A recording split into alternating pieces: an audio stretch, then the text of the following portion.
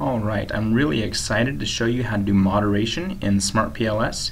Now there are two different types of moderation. There's multi-group moderation and then there's interaction. For multi-group moderation, you can just use my um, PLS video uh, on PLS graph. It's the same concept, same idea. You split the data set, test both models, then you take those values and stick them into my tool, my stats tools package in the chi-square threshold tab and you check um, the differences between two groups per path uh, just like that. Or if you're really savvy and you think you can figure it out um, I have let's see I have over here at the very end a, an unrefined group differences where you can test all the paths simultaneously. So that's up to you. But this video is for interaction.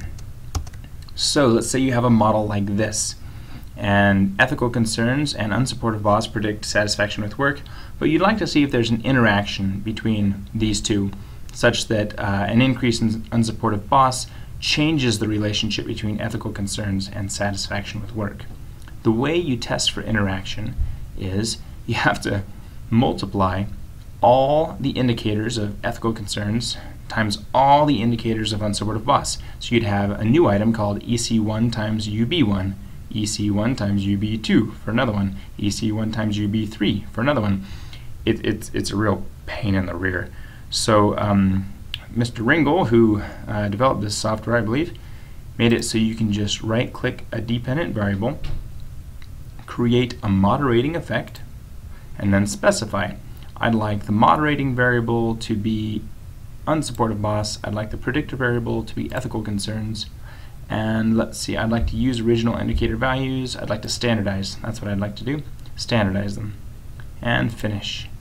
And check this out. It made this for me. I'm going to hide these really quick. Well, no, I'll just open it up. And kaboom! There they are. See? EC1 times UB1, EC1 times UB2, all of them. I'm going to go ahead and hide those again. And then you just run it. PLS algorithm, finish. And here it is. Looks like the interaction effect is very minor. Um, we can see how significant it is do a bootstrap.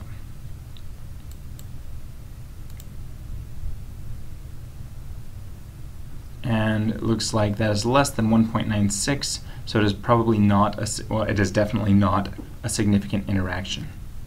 And that's how you do it